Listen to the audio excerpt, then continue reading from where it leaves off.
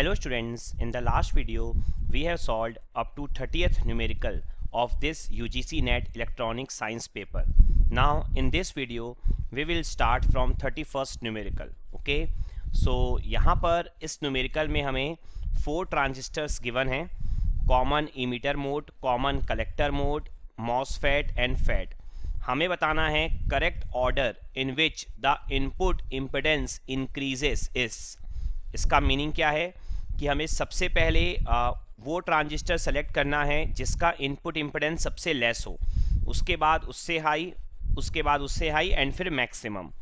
तो आप क्लियरली देख सकते हैं यहाँ पर कि जो मॉसफेट है आपका, वो प्रेजेंट है। और मॉसफेट हमें पता है कि मॉसफेट का input impedance, common emitter, common collector and FET, इन तीनों से ज़्यादा होता है। तो आप सबसे पहले थर्ड नंबर देखिए कहाँ पर सबसे हाईएस्ट है। तो आप देख सकते हैं option number A option number A में ही आपका थर्ड नंबर सबसे ज़्यादा हाईएस्ट है। तो आप डायरेक्टली लिख सकते हैं ऑप्शन नंबर ए उसके अलावा और किसी ऑप्शन में जो आपका थ्री है मॉसफेट है, वो सबसे ज़्यादा इनपुट इम्पोर्टेंस नहीं गिवन है। उसके बाद आप चेक भी कर सकते हैं, कोई प्रॉब्लम नहीं है। अब आप देखिए मॉसफेट के बाद आपको पता है कॉमन इमीटर कॉमन कलेक्टर से ज़्यादा इनपुट इम्पिडेंस फैट का होता है। तो नंबर फोर आना चाहिए था, बिल्कुल सही है। उसके बाद हमें पता है कॉमन इमीटर और कॉमन कलेक्टर में से कॉमन कलेक्टर का जो इनपुट इम्पिडेंस है, वो ज़्यादा होता है। तो आपका आना चाहिए नंबर टू बिल्कुल correct and the number one clear है अच्छे से? तो मॉसफेट इनपुट इम्पिडेंस आपका टेन की पावर ट्वेल्व की रेंज तक चला जाता है। तो वो सबसे ज़्यादा होता है, हमें पता होना चाहिए। और वैसे ही कॉमन इमीटर का इनपुट इम्पिडेंस सबसे लेस होता है। क्लियर नाउ नेक्स्ट जो क्वेश्चन है आपका the correct order in which power dissipation in the transistor in power amplifier decreases ये आपका क्वेश्चन अब एनालॉग सर्किट का है पावर एम्पलीफायर का क्वेश्चन है। देखिए आपको टाइप्स ऑफ़ पावर एम्पलीफायर दिए हैं यहाँ पर। Class A class B class C class A B ठीक है? देखिए, हमें पता है कि जो क्लास ए होता है, उसमें पावर डेसिपिएशन बहुत ज़्यादा होता है, लेकिन डिस्टॉर्शन भी सबसे कम होता है। एक एडवांटेज है कि पावर डेसिपिएशन सबसे ज़्यादा होता है अफिशिएंसी जो होती है, वो बहुत लेस होती है, ठीक है? लेकिन जो डिस्टॉर्शन है, वो भी इसमें बहुत लेस होता है, जो कि आपका एडवांटेज है। तो हमें पूछा क्या है? Power dissipation in transistor in power amplifier decreases मतलब जो सबसे ज़्यादा है, वो सबसे पहले आएगा आपका। ठीक है? तो क्लास ए का आपका सबसे पहले आना चाहिए। तो वन नंबर सबसे पहले कहाँ कहाँ आ रहा है, आप देख लीजिए। स्टार्टिंग के तीनों ऑप्शन में आ रहा है आपका। ठीक है? अब आप देखिए, हमें पता है क्लास ए के बाद क्लास बी की बारी आती है। क्लास बी की एफिशिएंसी क्लास ए से ज़्यादा होती है। पावर डेसिपिएशन लेस होता है। नो डाउट बट इसमें आपको फुल वेव फॉर्म नहीं मिल पाती आउटपुट में। ठीक है ना? थोड़ा बहुत डिस्टॉर्शन मिलता है। खाली आपको हाफ़ साइकिल मिल पाती है। तो क्लास ए के बाद आपका क्या आएगा? क्लास बी ठीक है? तो क्लास बी आप देख लीजिए कहाँ आ रहा है? थ्री तो आपका देखिए ऑप्शन नंबर सी जो है वो कट हो गया। ऑप्शन नंबर ए या बी में से आपका करेक्ट ऑप्शन है। ठीक है ना? तो क्लास ए का सबसे ज़्यादा होगा पावर डेसिपिएशन लेकिन हमें अपोजिट सीक्वेंस में बोलना है। हमें बताना है जब डिक्रीजेस होगा। ठीक है? तो क्लास ए का सबसे ज़्यादा आया। तो क्लास ए देखिए यहाँ पर आ गया। उसके बाद क्लास बी का होता है तो देख लीजिए आप क्लास बी का आपका थ्री नंबर है दोनों ऑप्शन में ए और बी में। उसके बाद देखिए आपका क्लास बी के बाद हमारा होता है क्लास ए बी का। ठीक है ना? तो क्लास ए बी आप देख लीजिए, आपका ऑप्शन नंबर बी में है। ठीक है? तो क्लास ए के बाद क्लास बी क्लास बी के बाद class A B and class A B के बाद, हमें पता है सबसे ज़्यादा आप बोल सकते हैं जिसकी एफिशिएंसी होती है, या जिसमें पावर डेसिपिएशन सबसे लेस होता है, वो होता है आपका क्लास सी ठीक है ना? तो पावर डेसिपिएशन यहाँ पर सबसे लेस होने वाला है in case of class C में. क्लियर है अच्छे से? तो जो हमारा ऑप्शन नंबर बी है, वो आपका करेक्ट हो जाएगा. नाउ नेक्स्ट क्वेश्चन देखिए. नेक्स्ट क्वेश्चन है आपका 8085 माइक्रो प्रोसेसर का. Following are the interrupts of 8085 microprocessor. The correct order in which this interrupts will be executed if arrive simultaneously. तो सबसे पहले कौन एग्जीक्यूट होता है ये हमें पता करना है उसके बाद फिर उसके बाद फिर लास्ट तो हमें पता है कि ट्रैप की प्रायोरिटी सबसे ज़्यादा होती है तो सबसे पहले ट्रैप आपका क्या होता है एग्जीक्यूट होता है ठीक है ना? इमरजेंसी पर्पस के लिए इसे यूज़ किया जाता है। इसकी प्रायोरिटी सबसे ज़्यादा होती है आपकी। ट्रैप के बाद हमारा एग्जीक्यूट होता है R S T seven point five and R S T seven point five के बाद एग्जीक्यूट होता है R S T five point five and last I N T R vectored interrupt clear है अच्छे से?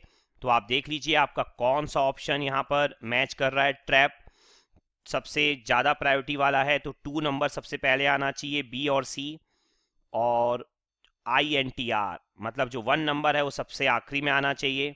मतलब आपका ऑप्शन नंबर जो सी है वो करेक्ट है।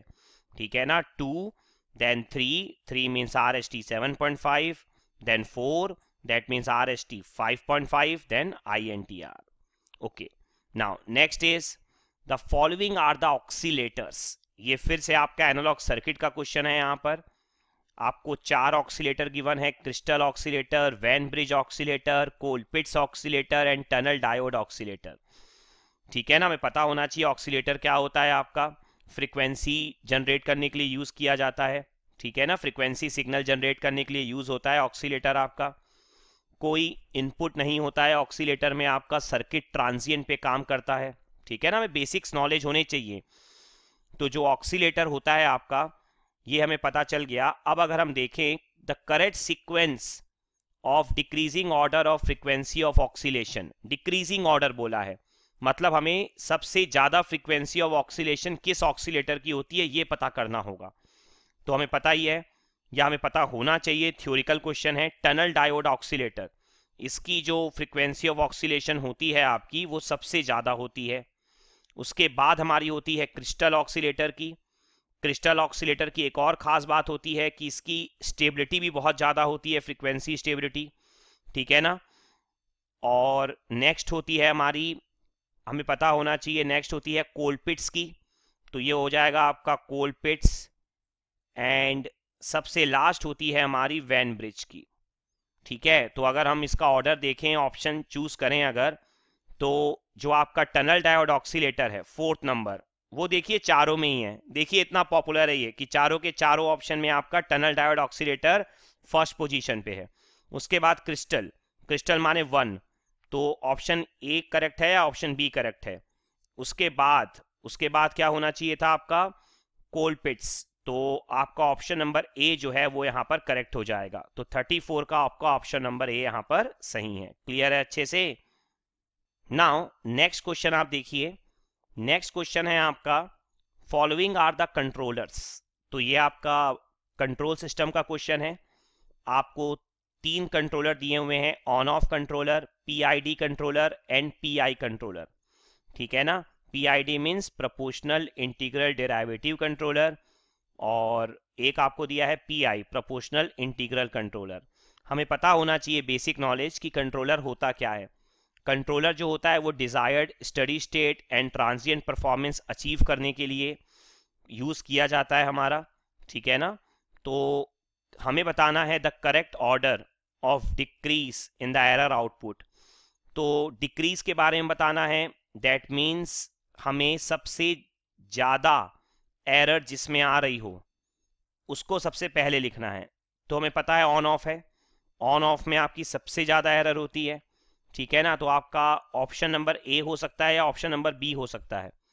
उसके बाद हमें पता है कि पीआई का बारी आती है, क्योंकि पीआई में आपकी जो एरर होती है, वो पीआईडी के कंपैरिजन में आपकी ज़्यादा होती है। तो आपका ऑप्शन नंबर बी यहाँ पर करेक्ट हो जाएगा, क्योंकि पीआईडी जो है यहाँ पर लास्ट में है। सबसे कम एरर आती है आपकी। क्लियर है अच्छे से? नाउ नेक्स्ट देखिए आप। नेक्स्ट आपका ईडीसी e एनालॉग का क्वेश्चन है वापस से। तो अगर आप देखें यहाँ पर, आपको चार ऑप्शन दिए हैं लिस्ट वन में। चार आपको पॉइंट्स लिखी हैं और फोर पॉइंट्स आपके लिखे हैं लिस्ट टू में। आपको मैचिंग करना है। तो पी एन जंक्शन डायोड आप सोचिए यहाँ पर कौन सा ऐसा मिलती जुलती स्टेटमेंट है जो पी एन जंक्शन डायोड के साथ फिट हो जाए।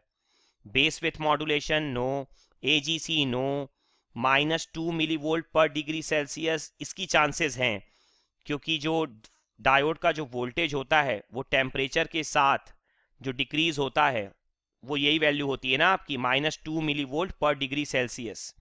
Okay तो ए का ऑप्शन थ्री तो हो सकता है, इसकी एक चांस यहाँ पर बन सकती है, ठीक है? इसे हम कंसीडर करके चलते हैं। देखिए, बेस विथ मॉड्यूलेशन, ये तो हमें पता है, बीजेटी के साथ ही होता है, इसके लिए कोई डाउट नहीं हमें। ओके? तो आपका बी का ऑप्शन वन हो सकता है, इसे भी हम कंसिडर करके चल सकते हैं। मॉसफेट का हमें बहुत अच्छे से पता है कि लो पावर कंजम्पशन होता है, इसे भी हम कंसिडर करके चल सकते हैं। और फैट के साथ ऑटोमेटिक गेन कंट्रोल एजीसी ये आपका ऑप्शन होता ही होता है। ठीक है ना?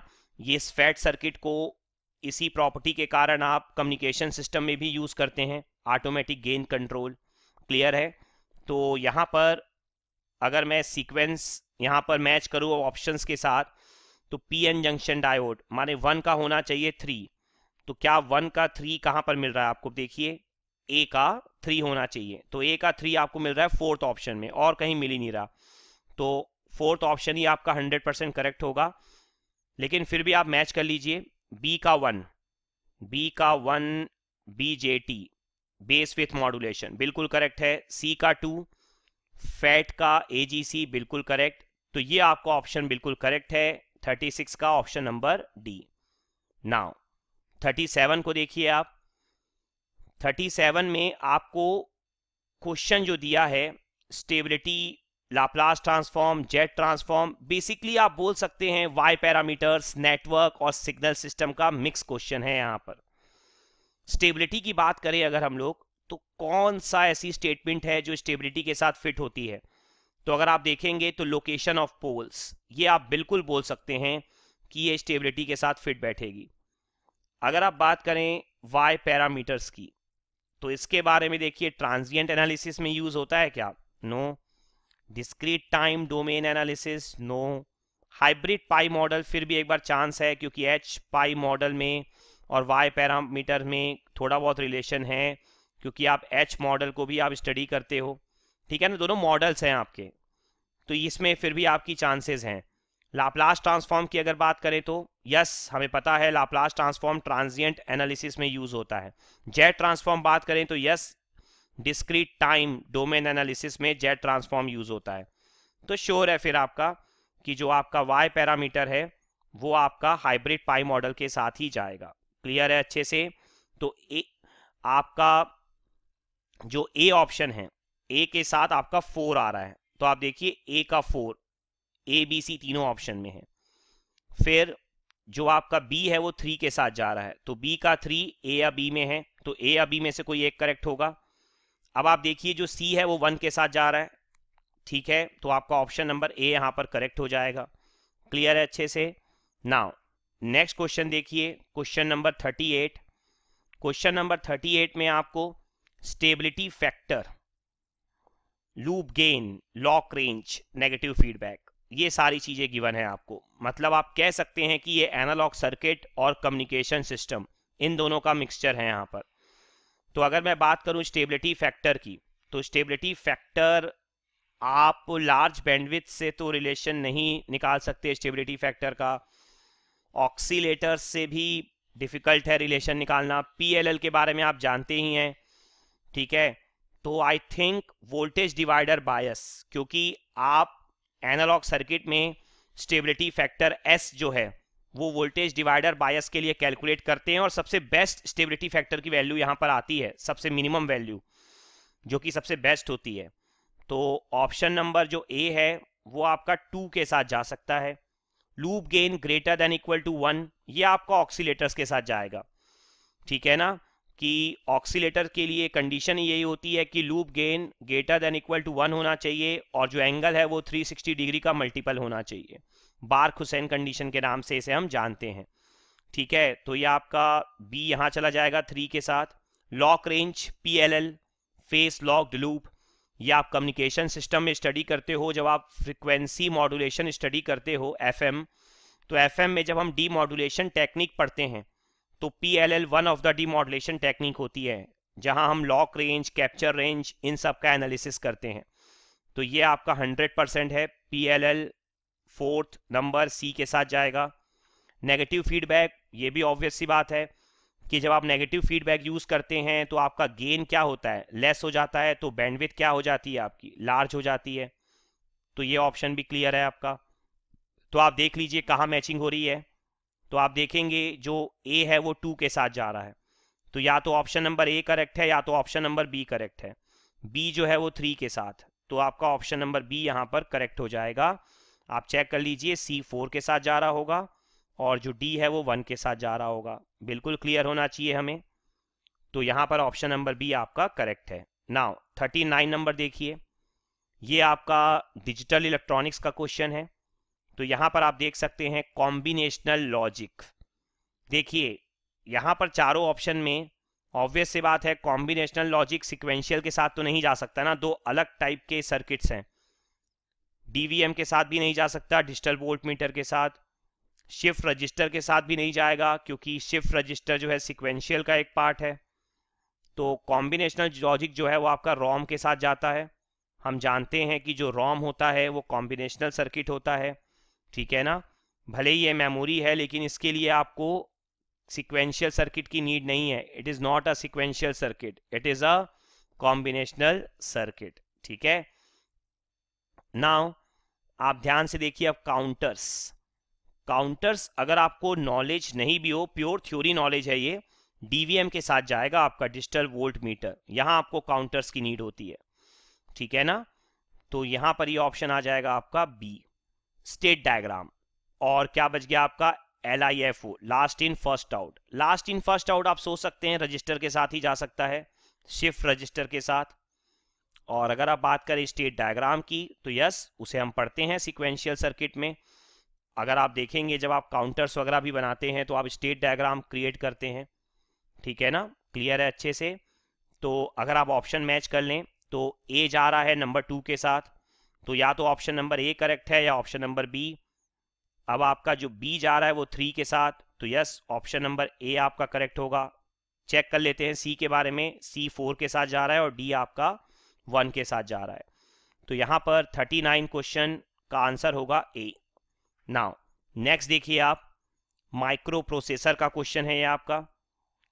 और इसमें एक माइक्रो कंट्रोलर भी गिवन है 8051 ये नॉलेज होना चाहिए आपको।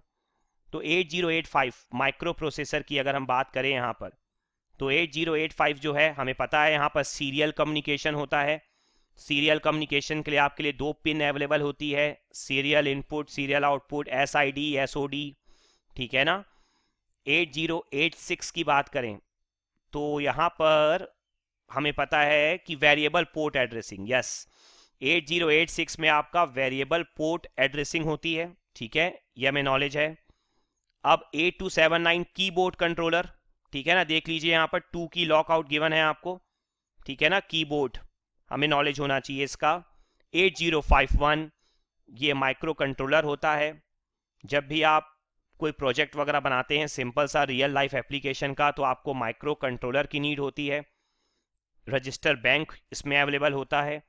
तो ये आपका ऑप्शन नंबर क्या हो जाएगा?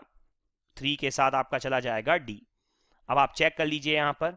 ए किसके साथ गया है आपका? टू के साथ। तो ए टू के साथ या तो सी ऑप्शन में जाएगा या तो डी ऑप्शन में जाएगा। अब आपका बी गया है वन के साथ तो आपका ऑप्शन नंबर डी यहाँ करेक्ट हो जाएगा। सी फोर के साथ जा रहा है यस और डी जो है वो थ्री के साथ। बिल्कुल सही है आपका। तो ये फोर्टी नंबर का जो आपका ऑप्शन नंबर डी है, वो करेक्ट होगा यहाँ पर। तो आज की वीडियो में मैं यहीं पर स्टॉप कर रहा हूँ। रिमेनिंग टेन क्वेश्चंस मैं पार्ट फोर में आपके लिए लेके आऊँगा। अगर आपको इस टेन क्वेश्चन में कहीं भी कोई डाउट हो तो आप कमेंट सेक्शन में ज़रूर पोस्ट करिए। Good bye